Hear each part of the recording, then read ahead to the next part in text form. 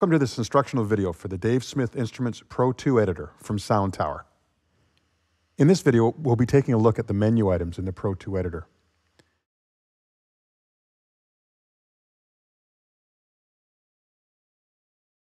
Under the Pro 2 menu, you have Preferences and About. In Preferences, you can manage how the editor responds to user input. Mouse wheel value adjustments sets whether you scroll up or scroll down on your mouse to increase numeric values. Knob value adjustments set how you adjust the knobs on the editor. When you set to circular motion, you can adjust the knobs by clicking on or near the parameter you want to adjust and move the cursor in a circular motion. If you need to make fine adjustments, you can click and move away to track a larger circle, thereby giving you greater control. If we change the setting to linear, vertical motion, you click and move up and down vertically to adjust the value. Change the setting to linear, vertical, horizontal, and you can click and drag either vertically or horizontally to adjust the value. About provides a way to check the software version of the Pro 2 editor and to view the credits of the program developers. Click on the OK button to close this window. Next, let's look at the File menu items. The first two items are Load All Pro 2 Data and Save All Pro 2 Data. With these commands, you can save out the settings for the entire Pro 2 to a single proprietary file or load an entire file, perhaps from another Pro 2 user. The process of saving and opening or loading a file is common to all other files on your computer. Select Save All Pro 2 Data navigate to a directory of your choosing, title the file, and click Save. If you wanted to load a Pro 2 data file, click Load All Pro 2 Data, select the file, and click Open. The next two items are Load SysEx file and Save Data as SysEx file. SysEx stands for System Exclusive and is a standard file format for saving and sending musical instrument data files. Saving in SysEx creates a MIDI SysEx file. The process for saving and loading SysEx files is the same as load and save all Pro 2 data mentioned previously. Following the Pro 2 data and SysEx commands, which again saves all the Pro 2 settings, load and save single program manages one program only.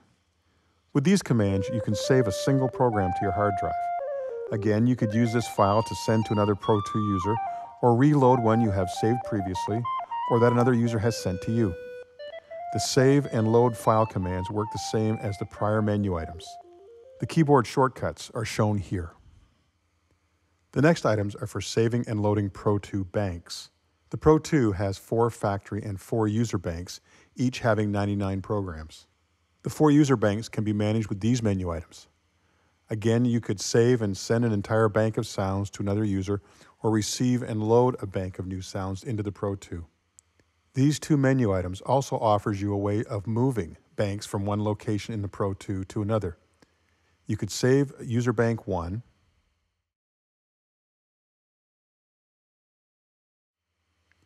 then load it into user bank 4 if you wish.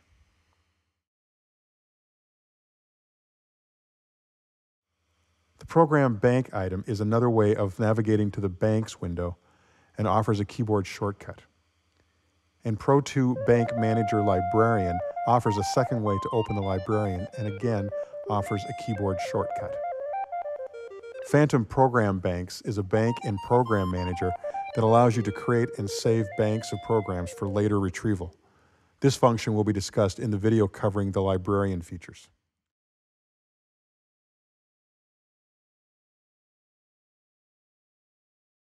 Moving on to the Edit menu, Paste and Copy Programs works as would be expected. You can copy the current program to the clipboard and then paste it to a new location. Let's get a program from the factory banks. Select Copy, then click on a new location where you want the patch to go. Let's go back to User Bank 4. Select a location and click Paste. Please note that this overwrites the program in the Pro 2, so be sure to back up current banks using the commands described earlier in case you need to return to a prior bank and program configuration. The write command is used when you have edited a program or sent a program to the Pro2 that is being held in a temporary memory location called a buffer. Whenever you are creating edits to an existing program, those changes will not be recalled if you call up another program and then return to the one that you've been editing, unless you write the program into a program location. When you click Write Program, a dialog box will appear and it will default to the current location. You can simply click OK and the edits will overwrite the old settings, or you can select an entirely new location to retain the original program as well as saving the edited version. Of course, you can click Cancel if you change your mind. The Pro 2 has a built-in arpeggiator and built-in sequencer. The arpeggiator patterns and the sequencer steps can be copied from one program to another using the copy and paste functions in the Edit menu. Select a program whose arpeggiator or sequence you wish to move, click Copy, select the program you want to move it to, and select Paste. The Rename Program function allows you to rename a program and set the program category.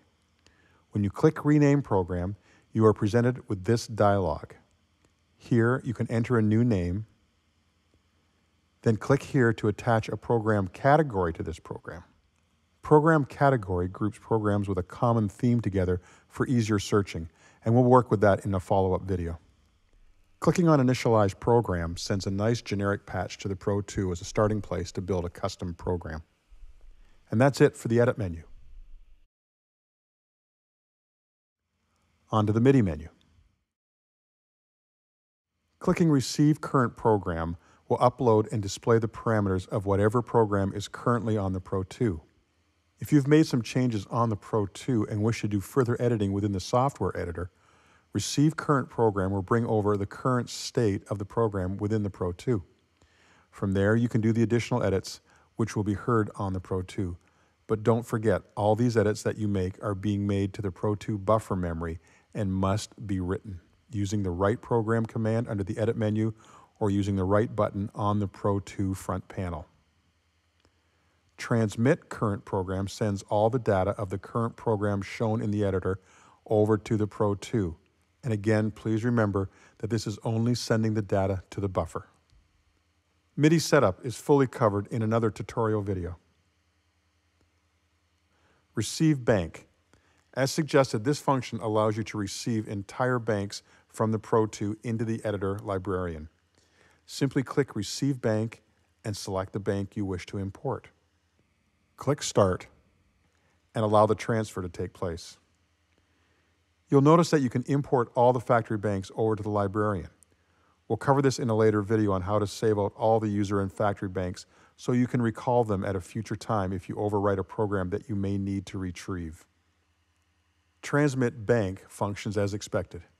Click Transmit Bank, select the bank you wish to send to the Pro 2, and click Start.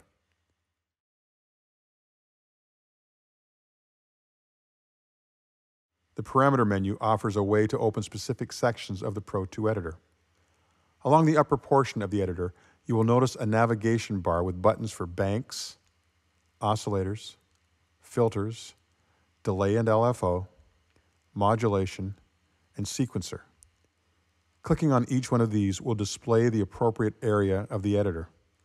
Each of these sections can also be called up under the Parameters menu, and the related keyboard shortcut is displayed. Snapshots is a very cool notepad, if you will, for patches that you are working on that you might need to hold for later recall. This is like a tiny librarian application. If you wish to save a current program or edit for recall, just click Add Snapshots under the Snapshots menu or use the keyboard shortcut. If you select View Snapshots, you can review and call your saved programs. And once again, sending a program to the Pro 2 from the Snapshots window is only sending it to the Pro 2 buffer. Write the program in if you want it to be saved. You also have the option to save a collection of snapshots as a file and recall them by clicking on the File button. Standard Save and Load dialogs will appear. There will be additional information on the Snapshots feature in later videos.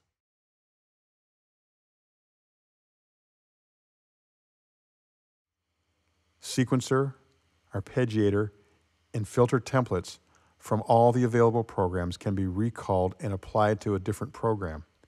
More on this in another video.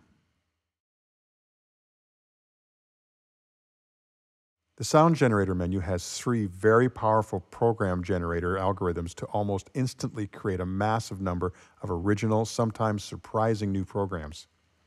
The three generators are Program Genetics, which uses a parent and child model, Morpher, that blends two patches together with some very interesting results, and Patch Maker, which is a little less random and allows you to pull related parameters from various programs. There's a full video to cover these sound generators. Check that one out when you have a minute.